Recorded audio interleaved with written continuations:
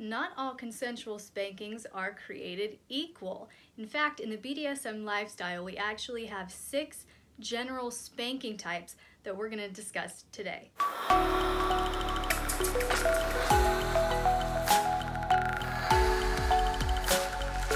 Before we get into our discussion on the six spanking styles within BDSM, I wanted to do another Patreon spotlight shout out to Optic Blue Photography and Mohari Arts for this beautiful corset. You girls are absolutely a joy. I am so glad we found each other and any of you that would like to pick this up, I put the link in this video's description. Now, for our discussion on consensual spanking, know this. I am not talking about minors. I am not talking about a parent disciplining their child, okay? No minors in kink.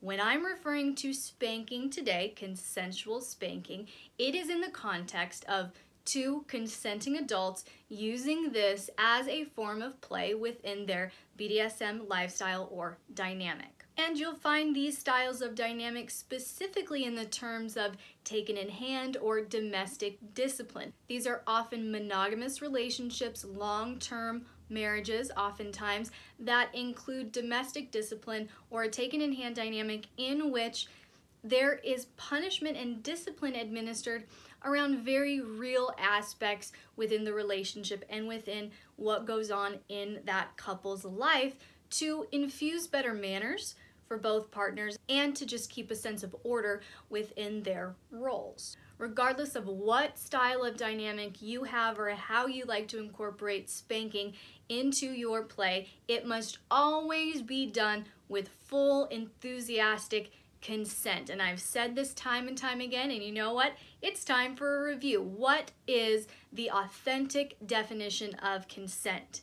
Consent is not just a lack of no, ladies and gentlemen, boys and girls. Consent is actually defined as a completely mindful, willing, and uncoerced choice to say yes and the ability to revoke that yes at any time without fear of repercussions without fear of a breakup or abandonment or neglect or abuse or being given the cold shoulder or being ghosted, etc. No fear of repercussions. Non manipulated, non coerced, completely enthusiastic, and no fear of repercussions. That is the first thing. Whenever you're engaging in some consensual spanking within BDSM, as in any act, Consent is key. Consent is mandatory. Consent is not just sexy. Consent is fucking mandatory, okay? Especially when it comes to you physically putting your hands in a potentially violent way on another person. Consent and limits. Limits must always, always, always be discussed.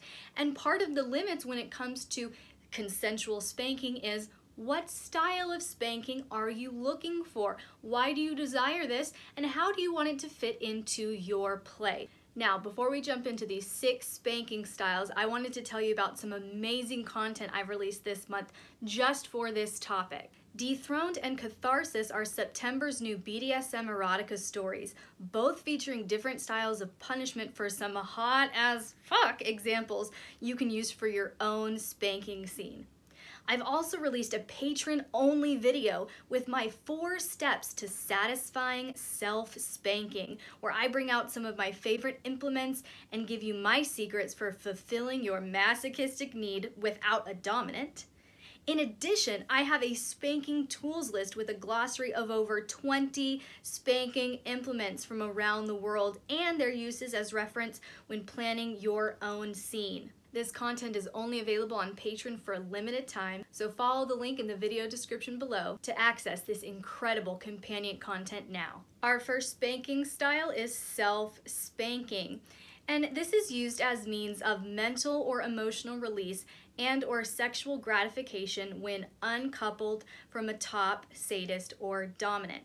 Again, if you want to watch that private Patreon only video where I reveal my four secrets to sexy self spankings, just follow the Patreon link in the video description below to access now. So as I discussed in that private patron only video, self-spanking is for those of you currently uncoupled and I know a lot of you who are currently uncoupled still like to engage in some of your kinky activities and play as much as you can on your own. So this video is definitely for you. But in addition, to self spanking if you are currently with a top sadist or dominant. The next style of spanking is erotic spanking, and this is used as means of foreplay to lead partners into a sexual scene. So when it comes to erotic spanking, its purpose is not to punish, its purpose is not to administer pain, it's heightened sensation. It's what we are referring to when it comes to soft dominance. Yeah, you still get submission, but you don't have to yell, be threatening, be overtly aggressive. Same kind of principle applies here. So as the giver, don't underestimate the power of soft rubs on the skin before the swats, between the swats, a lot of just sensual touch on the booty, on the thighs, all of those intimate areas and that's part of the allure of an erotic spanking is you can rub your fingers up on some stuff and move some stuff around a little bit. You know what I mean? Like as you're spanking, as you're going along this process, it should be erotic and arousing and pleasurable for both partners. Because for you as the giver, your goal is to find that sweet spot in intensity between mood killing aggression where it's going to cause pain and snap your submissive or bottom out of that great headspace. And then just like frustrating softness where it's too soft. They can barely feel it and then it causes frustration you know what i mean? So that's the sweet spot that you're looking for right in the middle of those two zones. And I'm vehemently against any performative receiving. But for you as the receiver, if you just want to be more enthusiastic but are new to this don't know quite how to show how much you're enjoying this, to show your enthusiasm for what your dominant is doing, there are some great options for you. Really, the point of this is to just show your pleasure. This is about pleasure. This is an erotic spanking. So if you are across their lap, this is an over the knee spanking, then you can, you know, arch that booty up in the air and kind of, hey, look at me. You can kind of grind against their lap a little bit show off your sex a little bit. Hey, look how aroused I am, all that kind of stuff. Again, it's to convey to your partner, hey, you're doing something good, pleasing that I enjoy here. This is not to act in a way that's foreign to how you feel. Next spanking style is a role play spanking. And this is used within a role play scene or age play setting but this can easily become an erotic spanking within the role play. So the key here for a role play spanking is you as the giver are guiding your submissive, your bottom, through this role play and using the spanking as part of the role play. So you are going to adjust your speed, your intensity, all of the context surrounding your spanking needs to be adjusted and catered to the type of role play that you're doing. For instance, if it's an age play kind of role play, right? Then you have your little all dressed up all cutesy, right? And it could be an over the knee spanking with, you know, the little skirt up, over the knee spanking with your palm, right? That fits the context of an age play role play. But if you are doing a role play scene that is a naughty student who didn't listen in class, right? Well, then you could probably use a ruler and bend them over a desk for a role play spanking. So there's more flexibility and creativity in how you can administer spanking when it comes to role play simply because your role play is a role play. It's going to be undefined until you actually do it and therefore the spanking is going to follow suit as well. And for you as the receiver, just respond in the role. Like the examples that I just used for the giver, if this is more of an age play thing, then maybe more whimpering and whining and apologetic little soft voice would be more fitting for your response versus a naughty student who is saying that they'll pay better attention in class or they'll do their homework, etc. You see how the spanking can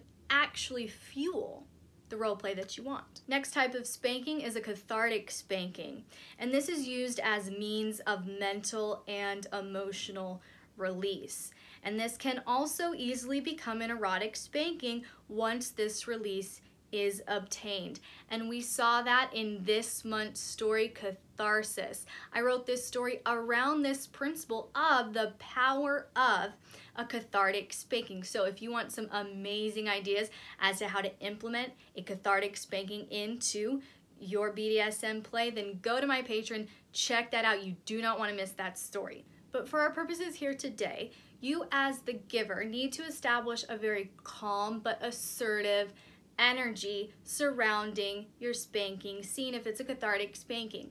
The energy that you need to create, the environment that you need to create is this is for a release, a mental and emotional release. People cannot release their raw emotions and their raw thoughts and be totally vulnerable and expressive unless they feel safe. So, your utmost responsibility as the giver in a cathartic spanking is to make sure that your bottom player, your submissive, feels totally safe. Not just physically, of course, but mentally and emotionally as well. To break the fuck down, to cry, to sob, to scream, to all of the above in any order they want. Okay? They need to be free and feel free to just express whatever comes up during the spanking.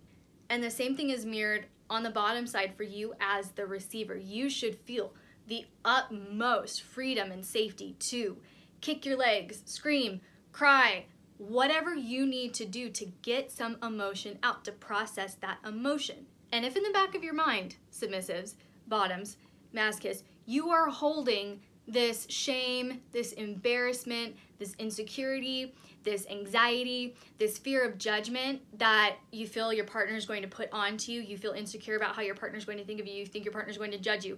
you. You're all these things. That's in the back of your mind. That's a big red flag that you and your partner have not spent enough time going through that flow of intimacy, safety, trust, vulnerability, intimacy. So I would encourage you to backtrack. A cathartic spanking is not going to be a cathartic spanking if you are not able to have that moment of catharsis. So, if that's where you're at, take time to build that deeper level of emotional intimacy first before you try a cathartic spanking. Now, we're taking it up a notch this next one with a punishment spanking. And punishment spankings are used as means of addressing disobedience, reinforcing boundaries, and retraining negative behaviors within the consensual power exchange dynamic. Now, for you as the giver, do not do a punishment, punishment spanking, until you are completely confident that your submissive, bottom, masochist, whatever, knows exactly why they're being punished. Okay? It is your utmost responsibility as the top, as the dominant, as the sadist, who is going to be administering a punishment spanking to communicate clearly enough that your submissive knows exactly why they're being punished. So do not act out of uncontrolled anger by any means, but you have every right to be firm, aggressive, okay, and very much reiterate this was the expectation and this is where you failed. This is the boundary and this was your violation. This is what I commanded, instructed, and this was your disobedience.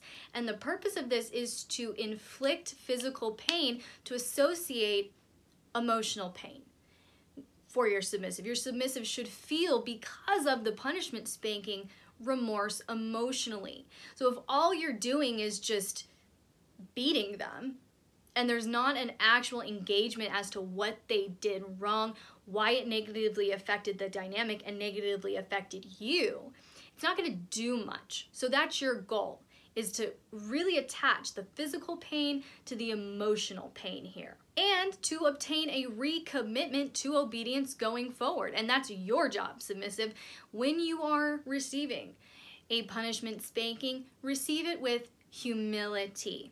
Okay? Because if you knew the boundary and you knew what was expected of you and you willfully decided to do what you wanted, then what you did is put what you want before what your dominant wanted. And what your dominant wanted was a better connection for the relationship, a better intimate connection, a better sexual connection.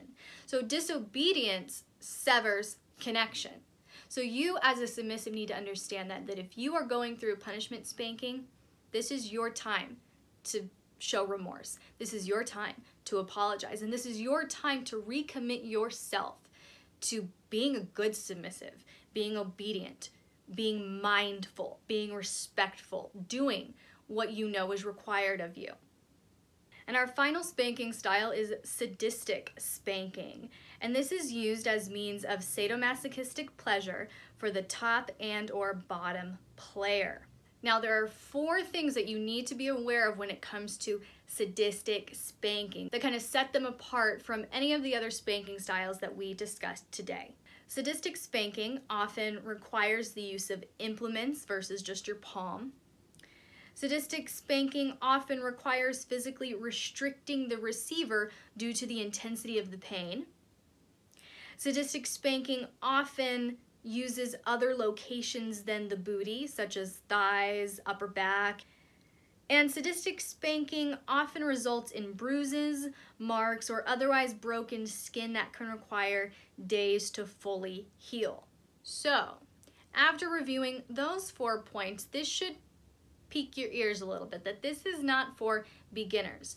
And as the giver here, you need to know what you're doing. You need to absolutely 100,000% know what you're doing. If you have never had any training, watched any video, spanked yourself, hit yourself, anything like that, if you never even held a whip in your hand, child, what makes you think that you're qualified to hold someone's trust in you. So givers of sadistic spankings, be aware of your limits. Come on, be humble and be aware of your limits and do not ever, ever, ever, ever use an implement or strike a location of the body unless you are, again, 100,000% confident that you can do so without causing harm. There's a difference between pain and harm, okay?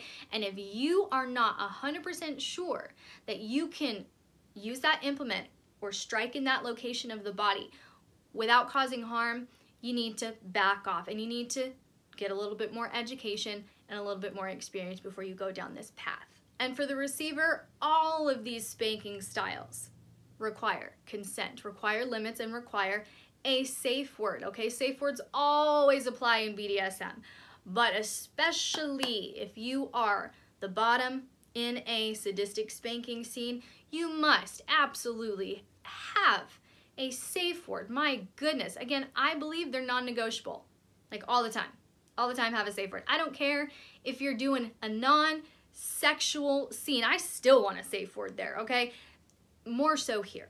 More so here. When you are being bound, when you have incredibly intense sensations or pain that's being administered, it will only free you to enjoy the experience as a masochist if you know that I can say whatever I want to say, I can get as loud as I need to get, as vocal as I need to get, make whatever noises or sounds that I need to get, and just fully immerse myself into this experience and check out. That's the power of a safe word in a sadistic spanking scene. So it's very, very important. And again, if you as the bottom, as the submissive, have it in the back of your mind that you're not 100% sure that your top, your sadist, your dominant can do this without causing harm, pain is good, harm not so much.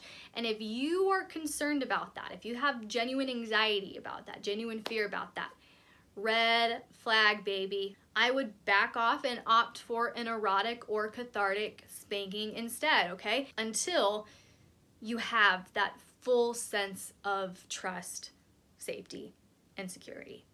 Again, if you want access to any of the incredible limited time content I've created to help you navigate your own spanking scene, whether on your own or with a partner, just go to patreon.com slash ellexerotica and check it out now.